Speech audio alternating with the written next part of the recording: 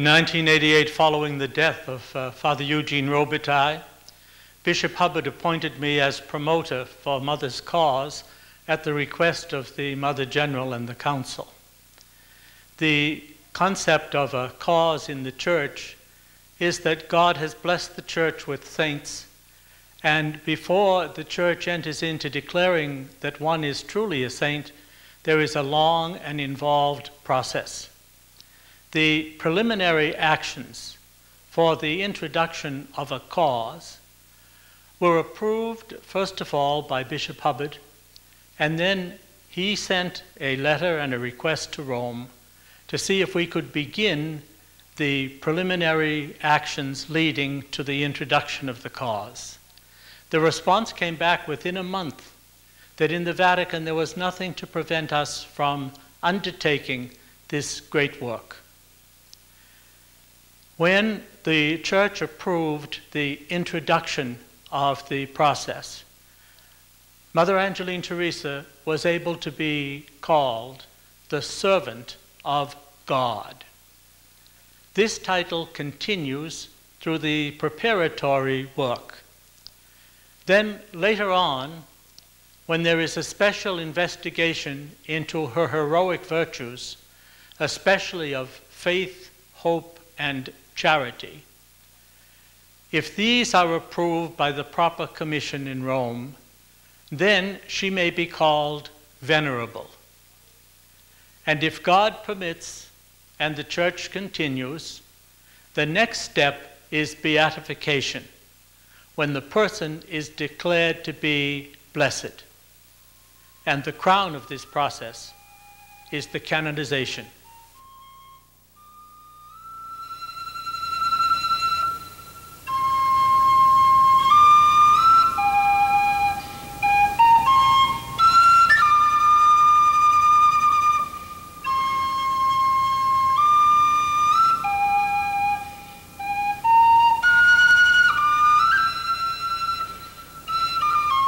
Considered the task which God has appointed for men and women to be busied about. He has made everything appropriate to its time. A person does not choose the right time to act, for there is an appointed time for everything, and a time for every affair under the heavens. A time to be born, and a time to die. A time to plant, and a time to uproot the plant. A time to kill, and a time to heal a time to tear down and a time to build. A time to weep and a time to laugh. A time to mourn and a time to dance. A time to scatter stones and a time to gather them. A time to embrace and a time to be far from embraces. A time to seek and a time to lose. A time to keep and a time to cast away. A time to rend and a time to sow a time to be silent, and a time to speak, a time to love, and a time to hate, a time of war, and a time of peace. All life is a wonder of God's love. From all eternity, His plan for us exists, and gently He leads us through the seasons of life to accomplish in time all that was planned in eternity.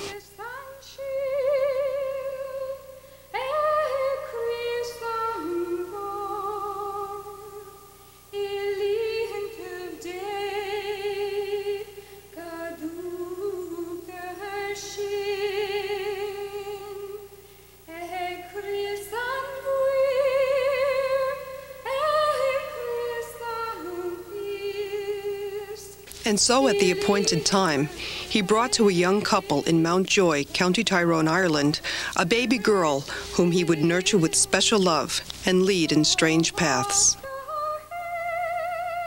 Bridget Teresa McCrory would return to her God on the very date of her birth, January 21st, after having served him for 91 years.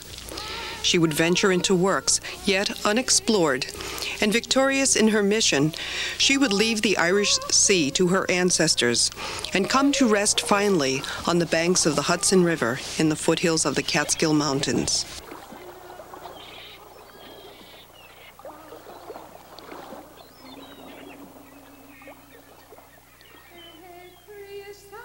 Bridget Teresa McCrory enjoyed a normal childhood with her brothers and sisters. The priest of St. Bridget's Parish in Mountjoy, along with the strong religious family, gave the children a love of their faith and a firm spiritual foundation. This loving place of her baptism and childhood always remained close to her, and when she was to visit it as Mother Angeline Teresa, the memory of past years emerged. The years at the turn of the century were not kind to the Irish people. Concerned for the future of their children, the McCrorys moved to Scotland, and it was there, not far from Glasgow, that Bridget Teresa matured into womanhood. She grew in gentleness and a spirit of zeal while preserving the naturalness and vitality of a young woman surrounded by family and good friends.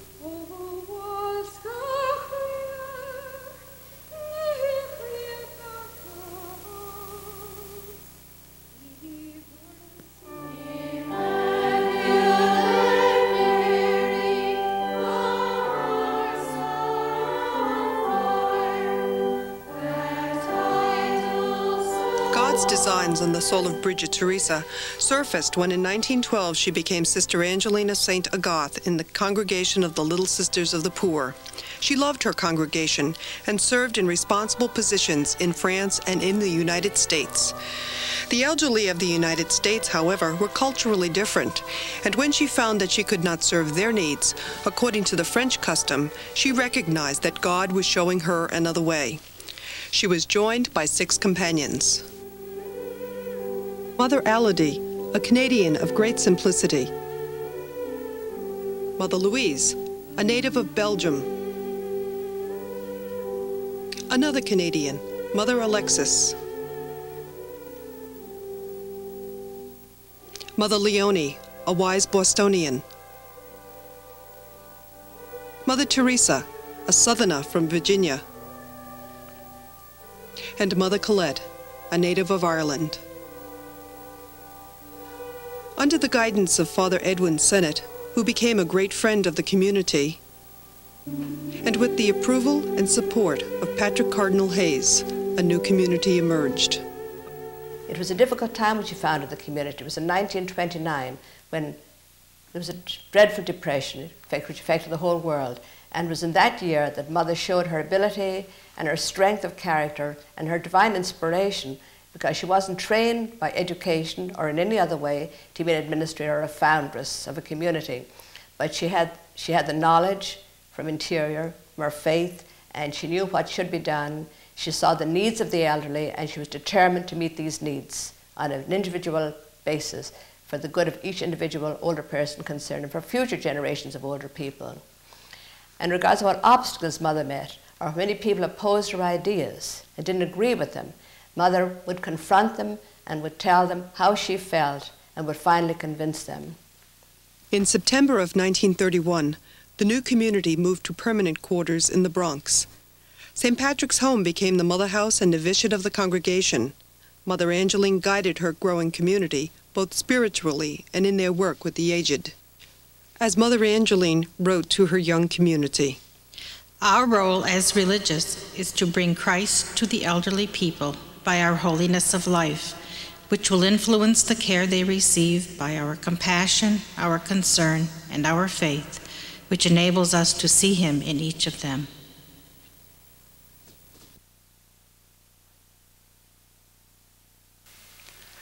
I remember Mother Angeline. When I was 18, October 1st, 1936, I had an appointment with Mother about entering religious life. I really hadn't made up my mind. And my mother wanted to make sure that I would keep the appointment, so we took the subway from Brooklyn to the Bronx and went to St. Patrick's home. And as I waited in the parlor, this tall, queenly religious walked into the room. I was very impressed with her. And the first thing she said to me was, Well, which one of you wants to enter? And I said, Neither one of us. I said, We just came to see the place. So then I said, You know, we have an appointment with Mother Angeline. She says, I'm Mother Angeline. Well, that won me over because I expected the Mother General of a religious community to be very autocratic and severe. But Mother was so kind, and for the whole time I knew Mother in my religious life, I found that kindness was one of her outstanding virtues. While I was waiting to come in, I was uh, sitting outside and I was looking at a picture of Mother Angeline Teresa. And I kind of said to her, Do you remember the day I came to see you the first time? And honestly, I think she said I had other things in my mind.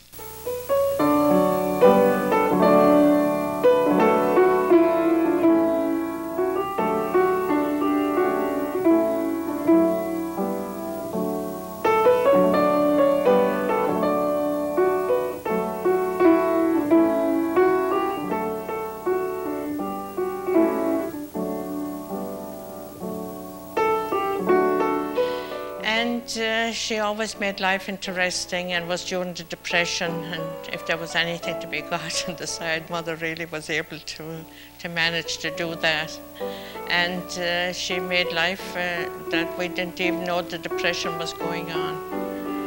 Then I was only in the convent a month and we opened another house for the aged in Philadelphia. By January, we opened another one. And by the time I made my vows, about a year and a half later, we had six homes for the aged, which tells you something about Mother.